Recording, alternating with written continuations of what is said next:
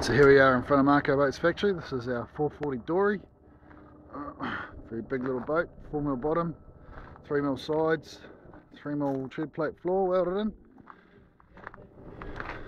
Big beam, just over 2 metres wide overall. Storage, uh, dry storage in the hatch, the white hatch there, and anchor locker to the other side. Boarding platforms, everything come as standard. Really deep sides, about 700 mils deep from the floor to the top of the gunnel.